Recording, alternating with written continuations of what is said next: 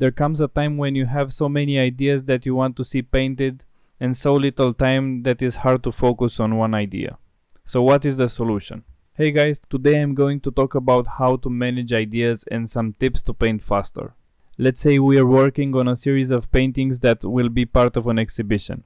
You love the ideas you have for the painting so much that you can't wait to represent them all right now. Or you are Jeff Koons and you have an army of painters in your studio that make your work. If you are, call me on the number on the screen. Jokes aside, you need a plan. Figure out what painting you will start first. Sketch it out and start the first layer. For example, I'm working on two paintings right now. The first is medium size and the second is large. I painted the first layer of the medium size quite fast. To let it dry, I started the big one. A big picture of a castle at night, quite dramatic. I painted the sky and then got back to the medium sized painting until the large one dries up. It is very practical to have many works in progress. You can go back and forth through them while the layers are drying and you can see how a body of work comes together. This is very important. Now you can assess the connections between your paintings and if you achieved your desired outcome. Also if you get a bit bored with the painting start another one or do something else. Like I'm doing now. I'm writing this so you can use the information in your future projects. You should go for a walk. Run. Not from painting. Read a book. Or watch a movie. You get my point. Work on many paintings at once. And if you get bored, find a way to enjoy it. If I have a tough day at the studio, I try my best to continue painting. I will find a good book to listen to or a podcast, and if nothing else works, I listen to music. I prefer devouring books one by one like hot wings, or broccoli if you're a vegan. Also keep in mind that you are not obligated to keep pouring work out. You are an independent artist and you can take breaks when you need to. Just remember that Picasso said that inspiration must find you working. And all of us will get frustrated while working.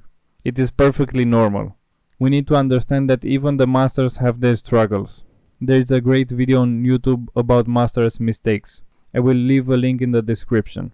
To be honest, I felt so tired today that I didn't feel like painting, but I did anyway, and the current work advanced slowly but nicely. So how can you paint faster? Well, you need to be well rested and paint every day. If you are mentally and physically well and keep exercising day in and day out, you will become better every day even when you cannot see it. You will get 1% better, and that is more than enough. In a year, you won't believe how better you got. The idea of 1% better I took from Jordan Peterson and James Clear. Maybe I'll talk about them in a future video. Another tip would be to simplify your work. Have an idea of how you're going to execute the painting and the order of the layers that you are going to paint. I have read in a book that Gauguin was trying to convince Van Gogh to paint a fresco with him. This would have helped Van Gogh to simplify his approach. Not being able to look at the subject, he had to carry it in his mind.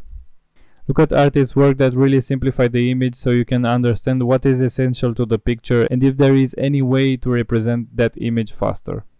A good example would be Alex Katz. His work is deceivingly simple but quite hard to achieve. Some more tips would be use masking tape to achieve straight lines or to work on a certain area of the painting. You can leave some areas of the painting incomplete. In the previous video where I talk about stealing like an artist, I paint a large portrait. Some areas of the painting I left unfinished to let the grainy effect of the canvas come through the final image. And in that case was quite relevant since I started from a very grainy film photo. So try and use this and see where it goes. One thing that I always do to speed up the process is trace my image before painting.